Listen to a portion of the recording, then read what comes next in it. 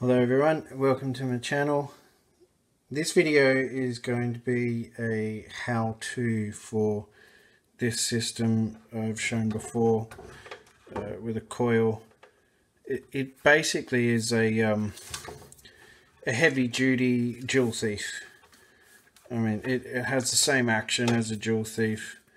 Um, it's just a bit bigger to allow running of you know uh, larger wattage lights. Um, I got a little bit sick of the novelty of some of the joule thief circuits, so um, I come up with this one, which is pretty easy to replicate. It doesn't have to be on a 3D printer spool, because I know not everyone has access to empty 3D printer spools but um, I have given the dimensions for the coil which you would wind on you know a piece of PVC pipe or something with stick two old CDs to the ends to hold the the uh, wires in place like these uh, walls do on the 3D print um, spool. So um, quick demonstration if you so it, it just uses the uh, single 2N3055 transistor mounted on a heatsink. It does get hot if you if you don't want to uh, put the heatsink on. You probably blow up a few more transistors. Uh, one of my other videos you can see the wiring layout for this particular light and I've placed it all along this um, connector strip so that that's in one of the other videos I will um, have a schematic for this circuit. Um, I've put up a sort of sort of a hybrid schematic with just a, a very rough picture of the coil itself. Um, but I have been asked a long time ago if I could put the correct schematic up. So um, I'll finally get around to doing that today. Um, this circuit doesn't have any capacitors. Um, it's just one component this transistor and then the wire. So um, I'll give a quick demonstration. The cameras never do justice for these lights because the CMOS sensor will detect that light and adjust it so that it can focus on on the background. Um, but that's basically yeah, a, a very simple circuit to um, to build and operate. So just put that to the side and the purpose of this video is really to just show in, in three different steps how that circuit is wound. So we'll unwind that. A lot of the confusion for me when I started uh, messing around with electronics was exactly that. You know, I'd, I'd see um, see someone on YouTube build a circuit, and you know they could even explain it and have the dimensions and everything placed down. But for some reason at start, I still just seemed to get confused. So this will be sort of a video creating in different steps so that we can just see how the primary is wound and the secondary and how many turns there are of each. So here we've got um, speaker wire, okay, and it's connected together. It's just how it's naturally uh, produced, and it's lots of multi-stranded copper wire on the inside of this. So I find it really easy to use because the primary is a bifilar coil, and you need to know uh, which wire to connect to where, one of these wires has a black stripe down it and the other one doesn't.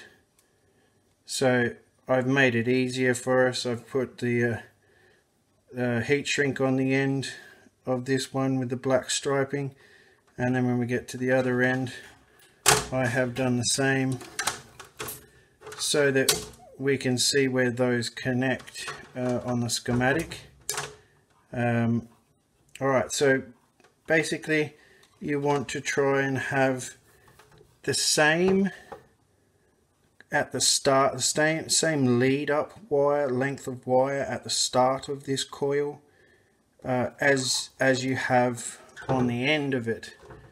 Uh, and, and that takes a little bit of juggling. Um, so basically I've cut two holes through the side of this to allow me to place that cable in there. And what we will do now is just start winding that around. You want to keep the coil flat, um, letting it twist over is going to change the way it operates so that's not a good idea so just for this first one in particular if we hold it down hold it in place wind that first coil around and then just squash that into place. And we want to try and keep it as neat as possible. It can be done where it's not neat. Uh, you'll basically fit less turns on there. So if you're trying to achieve resonance uh, you want to keep things snug keep those wires together keep them close to each other.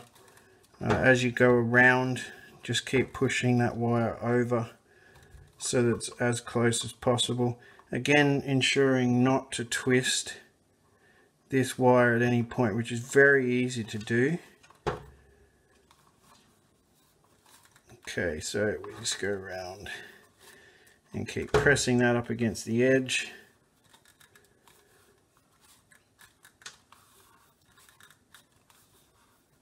and so there's two wires here laid side by side which will become in essence a bifilar coil. Um, you can use any any particular you know any wire just a single wire if you want. Two different colored wires it makes it easier at the end to um, distinguish which wire goes where. So just keep wrapping that around. And I think uh, this circuit ends up with nine turns with this form this uh, 3D print uh, spool ends up with nine turns of this um, two two string wire. So you end up with in essence 18 turns because it is a bifilar there's two wires and we're going to join uh, the two opposite ends together. Once we're done here so there we go we'll poke that out the corresponding hole on that side. Now I've twisted that over there so we just need to be sure that we've put that back in nice and flat and so we can see here that it, it might be um, beneficial. We've got a fair bit of space left on this side and not so much on that side for that to evenly lay flat. So I've, I've in essence done that wrong.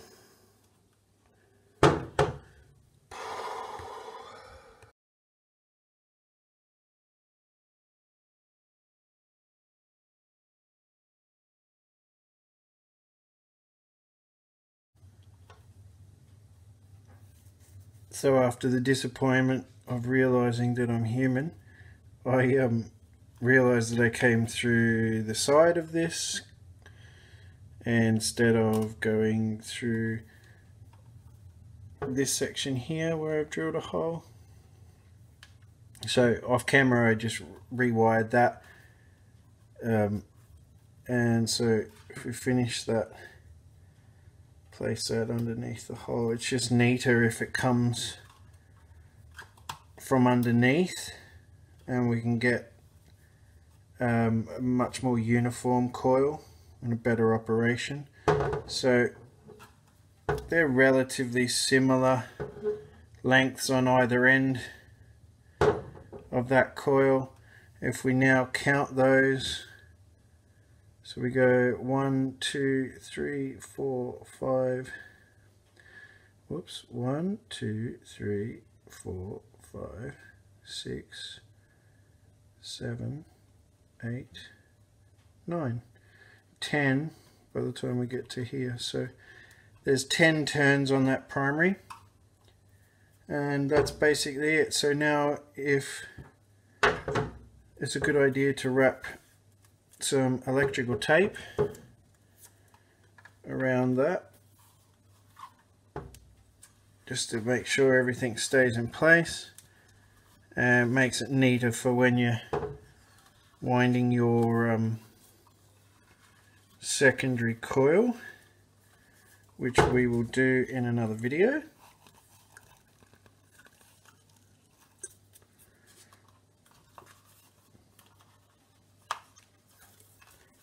might just continue that all the way around and then we cover both ends probably use more tape than is necessary but we know that's secure on there. We know how many turns the primary is. So if we want to make a secondary coil we have all that information we need. And that's basically it so now what would be we would be doing is joining the red to the black. And we do that with a cable joiner. And so these two ends here this red and black end become the opposite ends of this coil. So once joined there the power comes in here for example runs right, right the way through, comes back through this join and goes back again. Now, I think uh, from memory, uh, the other coil that's similar to this operates around about 172 kilohertz. So the switching time uh, here is you know, 172,000 times per second, which is mind-boggling. Um, but we you know, it's the higher that um, that frequency, according to Tesla, uh, the the more chance you'll you'll be able to pick up um, etheric power as well, so power from its local environment. Uh, get up over the 20 kilohertz. So what we'll do in the next video is wind the, the uh, secondary coil and then um, possibly make a third video which will be just on what goes where. Okay, thanks very much for watching. Um, ask questions if you if you don't quite understand what's going on, I mean, this is relatively simple, but I do remember what it was like when I started. It was quite daunting, and I'd watch videos over and over and over again and still sometimes miss it.